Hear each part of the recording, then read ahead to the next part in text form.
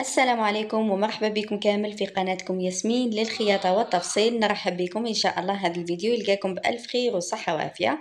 الموديل تاع اليوم راح ندير حالة في المواقع تاع التواصل الاجتماعي. راح نشاركو معكم بإذن الله خطوة بخطوة. عندي مترتين وربع من هذا القماش لا فيبران طبعا. وبالنسبة للقماش الإيني هنا عندي واحد متر فقط راح يكفيكم تقدروا تستعملوا الشوازات ولا الكريب ولا الشاش أي نوعية متوفرة عندكم تقدروا تستعملوها. اذا هذا الموديل البنات راه شوية صعيب كامل التفاصيل تاعو يحتاج تركيز. نحاول اني نفصله لكم خطوة بخطوة باش تفهموا خاصة المبتدئات والمهتمات بهذا الأنواع تاع لي موديل. الظهر فيه خدمة لي مونش فيهم خدمة الجهة الأمامية أيضا فيهم خدمة.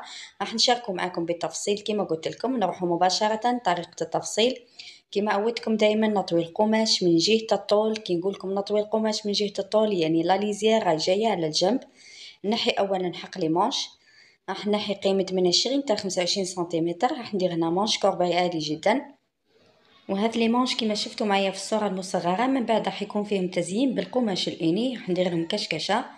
هنا بعد ما طويت القماش على أربعة هذا الموديل يتفصل droite البنات ركزوا معايا. نطوي القماش على أربعة كيما راكم تشوفوا. بعد ما طويتو على الطول عاودت طويتو من جهة العرض يعني la lisière تكون على الجهة العلوية. ونفصل معاكم patron عادي جدا البنات مباشرة نعطيكم القياسات. عرض الكتفين عندي فيه 19 سنتيمتر. نخلي واحد سنتيمتر حق الخياطة وننزل بقيمة واحد وعشرين سنتيمتر لخط التركيز. دورة الصدر راح ندير فيها اثنين وثلاثين سنتيمتر. هاد la taille راهي شوي كبيرة taille cinquante البنات ولا cinquante-deux تلبس ننزل خط الخصر بقيمة تسعتاش ولا عشرين سنتيمتر. ندخل بدورة الخصر راح ندير فيها ثلاثين سنتيمتر. ومن دورة الخصر من نهاية دورة الخصر عفوا راح نخرج مباشرة إيفازي لآخر القندورة نرجعو لهذا المربع اللي نخرجو منه حردة الإبط نخرج بقيمة ربعة سنتيمتر والمنتصف تاع خط التركيز نخرج منه بواحد سنتيمتر ونرسم حردة الإبط عادي جدا والجهة الأمامية تدخلوا فيها بقيمة واحد سنتيمتر. هذه المعلومة ما تنسوهاش نهائيا. هذا الموديل البنات ماهوش راح يكون فيه لبانس نهائيا بالنسبة للجهة الأمامية أما بالنسبة للجهة الخلفية راح تكون فيها la découpe. لأنه كما شفتوا في الصورة المصغرة هذوك الحلقات لازم نحتاجهم في الجهة الأمامية والخلفية. هنا راح نرسم على مستوى خط الخصر نرسم معكم les pinces. رايحة ندخل بقيمة تسعة سنتيمتر تقدروا تدخلوا حتى على عشرة سنتيمتر كما تحبوا. نعين هذيك النقطة تاع تسعة سنتيمتر. كيما متعودة البنات أني نرسم معكم les pinces ندخل بقيمة تسعة سنتيمتر من بعد بقيمة واحد سنتيمتر على اليمين وواحد سنتيمتر على اليسار ونرسم les pinces عادي جدا. أنا هنا كيما قلت لكم جهة الظهر راح تكون فيها la découpe. ندخل بتسعة سنتيمتر لأنه نفس القيمة راح نقصها من الجهة الأمامية. هذوك تفهموا معايا البنات أكثر. نعين واحد سنتيمتر على اليمين وواحد على اليسار. نرسم les pinces عادي جدا. نطلع بقيمة 12 سنتيمتر وننزل بقيمة 12 سنتيمتر. ومن المنتصف تاع هذه الحردة تاع الإبط نعين النقطة تاع المنتصف اللي هي تقريبا 14 سنتيمتر. نربط بينها وبين أعلى نقطة في لي بخط مائل بهذه الطريقة. بالنسبة للمبتدئات اللي ما ينجموش يرسموا هذا الخط باليد تقدروا ترسموا خط مستقيم ومن المنتصف تاعو تخرجوا بواحد سنتيمتر وتربطوا بين النقاط. أنا هنا راح نرسم باليد فقط. هذه لا ديكوب البنات بأسهل طريقة وبه البنات ما نحيش من قيمة الكتفين راح نخرج في النهاية تاع لا ديكوب بقيمة 3 سنتيمتر. نكمل نخرج بهذا الخط ونكمل نرسم الحردة تاع الابط بالنسبة للجهة السفلية عادي جدا. هذا الزيادة البنات اللي في المنتصف تاع الحردة تاع 3 سنتيمتر نديروها باه ما نقصوش في عرض الكتفين. صدقوني كي ديروا هذه الطريقة la découpe تاعكم تجي تحفة ومنكمش راح تنقصوا كامل من القياسات. لاحظوا معايا طول الصدر فيه حوالي 27 سنتيمتر اللي هو النهاية تاع ال pince اللي طلعت به بقيمة 12 سنتيمتر. الطول تاع البانسة فيه 24 سنتيمتر 12 12 نزلت بقيمة 27 سنتيمتر وعينت منتصف حردة الإبط بين هذيك النقطة تاع المنتصف نربط بهذا الشكل ونخرج بقيمة ثلاثة سنتيمتر ونكمل الحردة عادي جدا. هذه طريقة على ديكوب البنات بأسهل طريقة. صدقوني تبعوا هذه الطريقة راح تنجحوا فيها من أول مرة ونأكد لكم لا ديكوب راهي على الجهة الخلفية فقط. لاحظوا معايا بعد ما قصيت الباترون نحيت كامل هذه الزيادات وما تنسوش الميلان تاع الجهة السفلية. هنا البنات راني قصيت لا ديكوب بالنسبة للجهة الأمامية والخلفية. من بعد الأمام راح نحي هذيك القيمة تاع 3 سنتيمتر وطبعا ما تنساوش الميلان تاع الكتف. هنا راح نحي الجهة الأمامية وحدها والخلفية وحدها. ركزوا معايا البنات. أول حاجة راح نفصل الجهة الخلفية هي الأولى. ومن بعد ندير لكم التعديلات اللي راح تكون على الجهة الأمامية. راح نحي هذيك الزيادة تاع 3 سنتيمتر اللي خرجتها من المنتصف تاع حردة الابط لأنه الأمام ما فيش لا ديكوب. نعاود نرجع القطعه الخلفية كما كانت وأنا مباشرة راح نقص معكم لا ديكوب عادي جدا. تحبوا تفرغوها في المنتصف ولا تخليوها كما تحبوا؟ عندكم حرية الاختيار. نجي على الجهة العلويه بالمقص وننزل بهذا الخط المائل ونكمل بخط مستقيم. هنا بالنسبة اللي يحبوا ما يفرغوش les pinces. أما كي تحبوا تفرغوا البنات les pinces تنحيو هذاك الزيادة تاع واحد سنتيمتر اللي كنت زدتها اليمين وعلى اليسار. بنفس الطريقة دوك نوضح لكم أكثر. لاحظوا معايا تدخلوا بهذا الميلان وتروحوا لهذيك القيمة تاع واحد سنتيمتر وتعاودوا ترجعوا للنهاية تاع ال pince بهذه الطريقة. كما قلت لكم تحبوا تفرغوا ال pinces ولا تخليوهم كما تحبوا. هذه الطريقة تاع les pinces البنات. من بعد ما جزء الخياطة هذيك ثلاثة سنتيمتر راح تروح نهائيا. هذه القطعة راهي تاع الجهة الخلفية. جهة الخلف فيها les pinces فقط البنات أما الجهة الأمامية ما فيهاش كامل les pinces نحي جهة الخلف وحدها. ونجيب معاكم الجهة الأمامية. كما قلت لكم البنات فيها تعديلات. وأول خطوة هي أني نحي هذه الزيادة تاع 3 سنتيمتر ما نحتاجهاش في جهة الأمام. وندخل بقيمة 1 سنتيمتر باه ما تجينيش الجهة الأمامية منفوخة. نحي هذيك الزيادة وندخل بقيمة 1 سنتيمتر في الحرده تاع الابط ونجي هنا من المنتصف نعين قيمة 9 سنتيمتر اللي دخلت بها في les pinces ونعين طوليا على طول القماش من الجهة الأمامية هذه النقطة تاع تسعة سنتيمتر. ونقص مباشرة هذا الشريط ونعوضه بالقماش ال uni. راح نحط هذه القطعة على القماش تاع الشوازات ولا الشاش ونزيد حوالي اثنين سنتيمتر. وما تنساوش نحيو هذه الزيادة. دوك نفصل معكم البنات. ندخلوا بهذا الميلان تاع واحد سنتيمتر باه ما تجينيش الجهة الأمامية منفوخة. ونقص هذه القيمة تاع ثلاثة سنتيمتر. هذه القيمة زدتها فقط على جال الجهة الخلفية. باه نفصل معكم لا ديكوب بهذه الطريقة. ونقص هذا الشريط على بعد تسعة سنتيمتر من المنتصف. نحيه ونحطه على القماش الثاني اللي هو القماش الإني ونزيد حوالي اثنين سنتيمتر. لاحظوا معايا البنات بعد ما فصلته على القماش الثاني يعني جهة الوسط كامل راح نعوضها بهذا القماش. عندي القطعة الأولى فيها تسعة سنتيمتر اللي كنت نحيتها وهذه القطعة اللي راح نعوض فيها فيها قيمة عشرة سنتيمتر. راح تكون الخياطة طوليا بهذا الشكل حاولوا البنات ما تفصلوش الرقبة حتى تركبوا هذا الشريط. ركزوا معايا فقط بإذن الله راح تنجحوا في هذا الموديل وتتوفقوا فيه كامل. وهنا البنات ما تجمعوش هذا الشريط حتى تركبوا هذوك الحلقات اللي يكونوا في جهة الخصر. على هذه البنات تركزوا معايا راح نخدم معكم حلقات حوالي أربعة نحطهم في المنتصف ونجمع هذا القطع سواء لا ديكوب على الجهة الخلفية ولا الجهة الأمامية. ما نجمعوش بالخياطة حتى نخدموا هذوك الحلقات ونلصقوهم. هذه طريقة تفصيل الأمام راح نعوض الشريط تاع تسعة سنتيمتر بشريط آخر فيه 11 سنتيمتر بالقماش الأوني من بعد راح نجمعهم بالخياطة. طبعا بعد ما نركب هذوك الحلقات ولاحظوا معايا حاولوا دايما ديروا زيادة على الجهة السفلية. نمر مباشرة لطريقة تفصيل les manches هذه القطعة فيها خمسة وعشرين سنتيمتر نطويها على أربعة بهذا الشكل. ال manche كيما قلت لكم راح يكون manche corbeille عادي جدا. من بعد راح نخدم له أشرطة بالقماش الثاني ونديرهم ككشكشة لاحظوا معايا بالنسبة للطول راح ندير قيمة عشرين سنتيمتر. حاولوا ما تزيدوش على هذه القيمة البنات إلا إذا حبيتوا ال corbeille يكون مستور ياسر. العرض ندير فيه 14 سنتيمتر. نرسم هذا الخط. كما قلت لكم البنات هذا الموديل كل جزء فيه راه فيه خدمة. كيما هنا راكم تلاحظوا manche corbeille عادي جدا ولكن من بعد راح ندير له كشكشة ولا بليات بالقماش الثاني. كما قلت لكم تحبوا ديروا الكريب ولا شوازات ولا الشاش كما تحبوا. نرسم هذا ال corbeille عادي جدا ونجيب المقص نقسم معاكم هذا الشكل.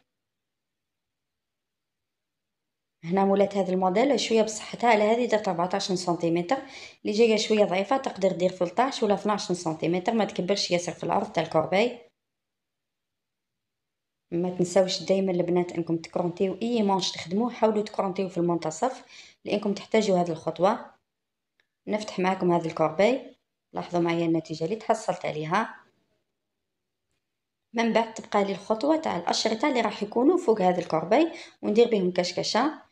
نجيب القماش الثاني وراح نخدم به أشرطة الطول تاعهم حوالي متر ونصف حتى ثلاث مترات على حسب الكشكشة اللي تحبوها. والعرض فيه حوالي ثمانية سنتيمتر. لاحظوا معايا من بعد راح نطويه بهذا الشكل نتحصل على ربعة سنتيمتر. ونخدم الكشكشة للكورباي كامل. دوك تشوفوا معايا الطريقة في جزء الخياطة.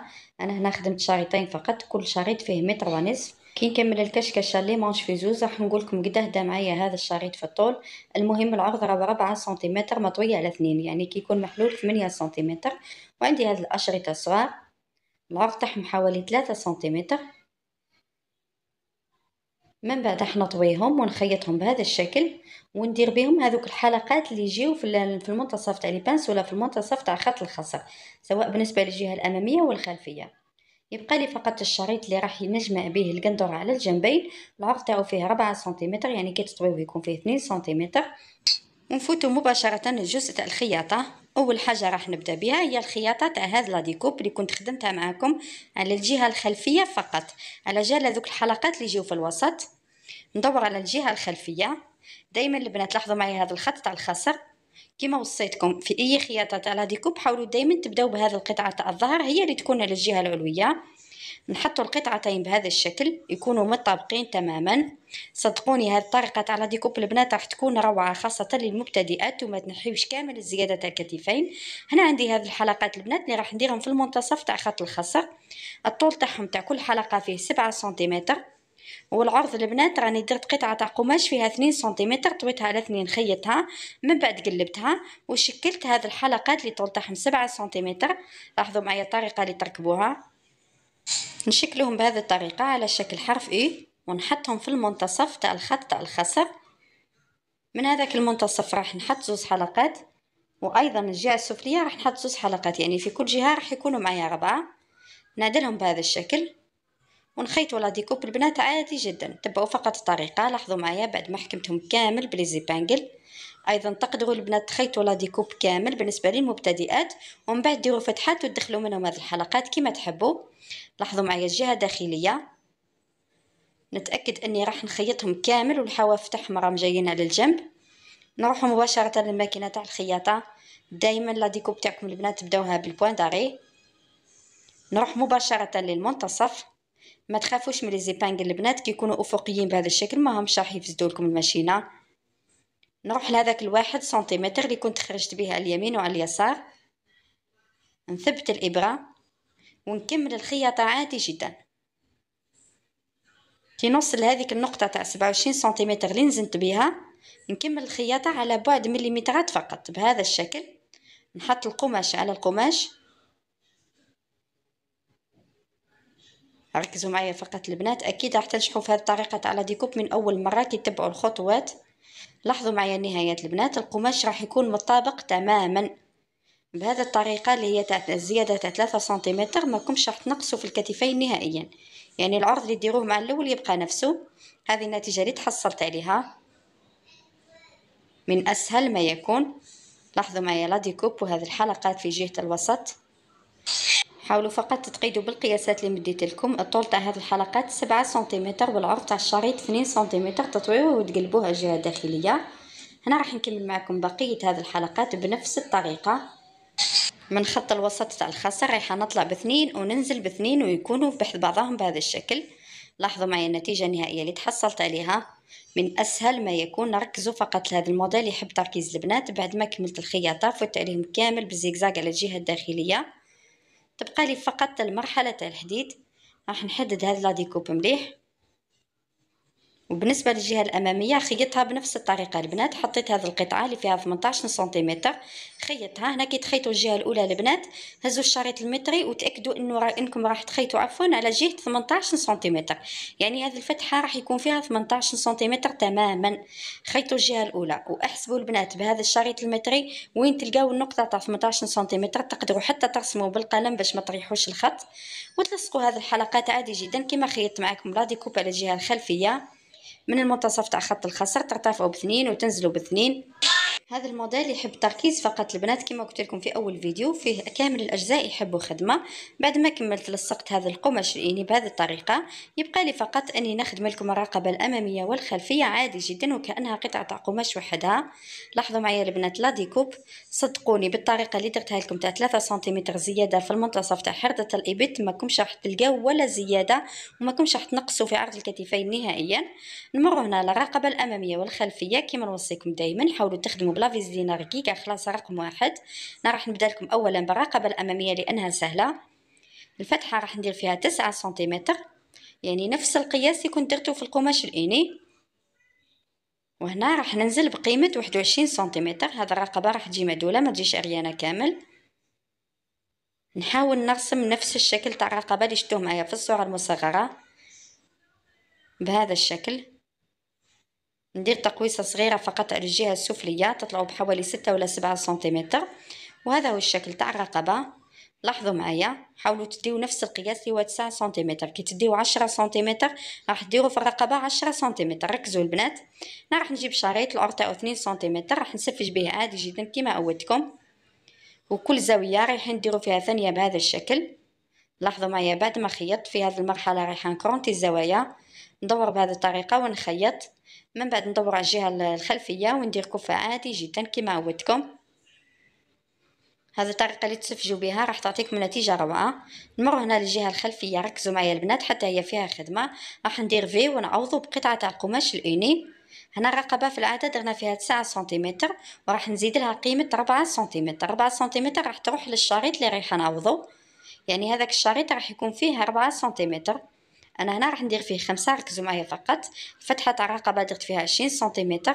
نربط بين النقطة تاع 13 سنتيمتر اللي هي تسعة زائد ربعة سنتيمتر وهذيك النقطة تاع عشرين سنتيمتر. هذا الخط المستقيم على شكل مثلث. هنا إياكم البنات إنكم تربطوا من النقطة تاع 9 سنتيمتر إلا اللي مش حابة إنها تعوض بهذا القماش. نجيب الأشرطة اللي راح نعوض بهم هذيك الزيادة تاع 4 سنتيمتر. طبعا ندير لها la viseline على الجهة الداخلية. كاين بزاف بنات شكاو من الموديل اللي كنت خيطته معكم من قبل تاع الفولار إنه ما ما يوقفلهمش. المشكل هو في la viseline البنات حاولوا تلصقوها على الجهة الداخلية. نبدأ بهذا الرقبة. على شكل V 13 على 20 سنتيمتر. رايحة نفتحها معكم ماهيش راح تجي مفتوحة نهائيا لأني عفوا راح نزيد فيها القطعة تاع القماش الإني. نجيب هذه الأشرطة نعطيكم القياس تاعهم بالضبط. لاحظوا معايا الشكل تاعهم راح يكون بهذه الطريقة. هذه الأشرطة البنات أنا درت فيهم طول 35 سنتيمتر يعني بالزيادة. والعرض راني مدايره فيهم تقريبا حوالي 10 سنتيمتر من بعد كي طويتهم على اثنين تحصلت على 5 سنتيمتر. نبدأ هنا على بعد واحد سنتيمتر. نعين قيمة واحد سنتيمتر على هذا الرقبه ال V كامل ونرسم خط. ضروري هذه الخطوة البنات. هذا الخط تاع واحد سنتيمتر هو اللي رايحه نخيط عليه هذوك الشريطين. نرسم هذا الخط كما راكم تلاحظوا بالقلم ونفس الطريقة على هذه الأشرطة. راح نحسب قيمة واحد سنتيمتر ونرسم خطين بهذا الشكل. هنا لازم البنات هذه الأشرطة ديروا لهم la viseline على الجهة الداخلية. العرض كما قلت لكم عشرة سنتيمتر كي على اثنين تتحصلوا على خمسة سنتيمتر. نحط بهذه الطريقة. هذاك الخط تاع واحد سنتيمتر نحطو مطابق تماما للخط اللي في الجهة السفلية. والجهة المغلقة هي اللي راح تكون في جهة الرقبة. أما الجهة المفتوحة راح تكون على جهة الخياطة. لاحظوا معايا نتأكد بلي الخطوط راهي مطابقة تماما على بعد واحد سنتيمتر. بهذه الطريقة رايحين تتحصلوا على رقبة فيم فينيا روعة وبنفس الشكل الجهة المغلقة دايما في جهة الرقبة. هنا بالنسبة لهذا الزاوية ولا هذا المعين نرسم هذا الخط نربط بيناتهم ونعين نفس الخط على الجهة السفلية. من بعد راح نقص هذه الزيادات ونتحصل على الفي اللي راح يكون في الوسط. ركزوا فقط البنات.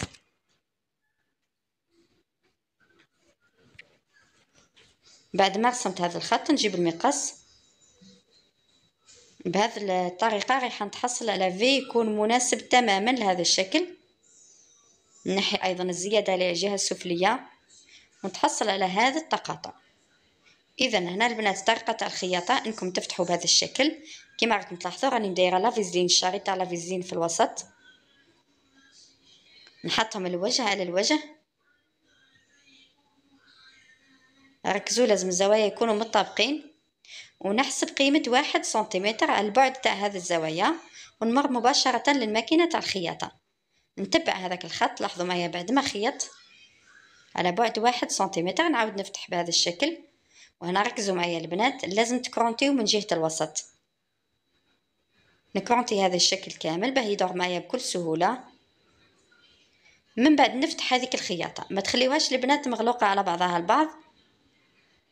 نفتحها بهذا الشكل. ونحط المثلث على المثلث. في هذه المرحلة لازم تستعملوا الحديد البنات. هنا باش تجيكم الخياطة مفينية وتجيكم رقيقه ما تجيكمش خشينة. رايحة نجيب الحديد. نقتل مليح هذيك الزاوية بالحرارة. ونحي هذه الزيادات نتخلص منهم. لاحظوا معايا البنات ال V اللي تحصلت عليه. طريقة غير سهلة ركزوا فقط البنات تبعوا معايا خطوة بخطوة. هنا راح نجيب épingle ونحط الزاوية مع الزاوية. لاحظوا معايا؟ هنا رايحه نخيط معاكم هذا ال V على القماش. نحط رأس الزاوية مع الزاوية اللي كنت درتها اللي نزلت بها بواحد سنتيمتر. في القماش ال uni بعدت بواحد سنتيمتر وعلى القماش اللي في الجهة السفلية بعدت بواحد سنتيمتر. نطابق الزوايا بهذا الشكل. ما لازمش البنات تخيطوا على الجهة العلوية وتنزلوا لازم نبدأ من هذيك الزاوية اللي كنت عينتها على بعد واحد سنتيمتر. ونفوت مباشرة بخياطة. على هذيك القيمة تاع واحد سنتيمتر. لاحظوا معايا البنات دائما تبداو بالبوان داغي نحط القماش على القماش يعني الخط تاع واحد سنتيمتر على الخط تاع واحد سنتيمتر. على هذه قلت لكم البنات ضروري إنكم ترسموه بالقلم. نكمل نخيط هذه الجهة ال V الأولى. لاحظوا معايا بعد ما خيط. هنا لازم أني نكرونتي في جهة الوسط على بعد واحد سنتيمتر نفس القياس. لاحظوا معايا البنات كي تكملوا الطريقة اللي تدوروا بها ال V على الجهة السفلية. كي تكرونتيو ما تخافوش نهائيا راح يدور معكم بكل سهولة. ندور بهذا الشكل ونخيط مباشرة بنفس الطريقة اللي خدمتها معكم في المرة الأولى. لاحظوا معايا بعد ما خيطت لاحظوا النتيجة تاع ال V اللي تحصلت عليها. هنا يبقى لي فقط أني نخرج الخياطة. ونخيط على الجهة تاع القماش. ما نخيطش على الجهة تاع القماش لأني البنات ركزوا. دائما ال point d'arrêt البنات ونثبت هذا ال V مليح.